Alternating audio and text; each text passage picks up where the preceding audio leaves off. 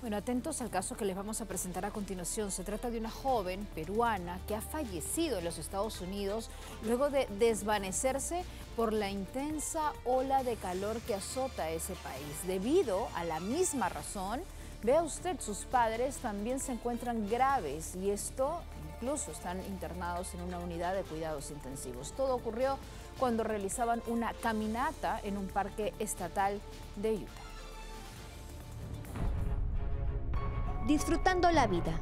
Así recordarán a Belirut Ordóñez, una joven peruana de 30 años que falleció a causa de la ola de calor que azota a Estados Unidos. Las altas temperaturas se sienten más en algunos estados como Utah, lugar donde vivía Belirut junto a sus padres, quienes se encuentran en UCI tras sufrir un grave agotamiento por el calor que está llegando hasta los 38 grados centígrados. La noticia fue confirmada por el hermano de Darío Ordóñez, padre de la joven fallecida, a través de sus redes sociales. Belly era una joven sociable y extrovertida que asistía a diversos eventos como conciertos. Incluso a muchos de ellos iba con sus padres, como lo podemos ver en estas imágenes.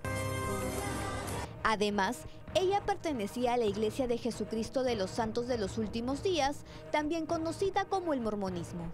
Sus padres, Darío y Umbelina, quienes vemos aquí bailando guayno, ahora luchan por sus vidas.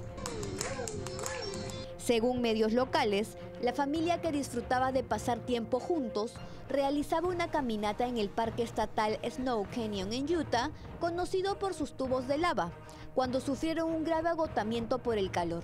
Belly Ruth perdió la conciencia y falleció, mientras que sus padres quedaron graves y fueron trasladados a un hospital de la zona.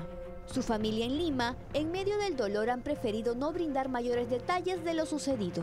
Las personas más cercanas a la familia Ordóñez están recaudando dinero para cubrir los gastos médicos y funerarios a través de la página GoFundMe. Nuestra solidaridad con esta familia de compatriotas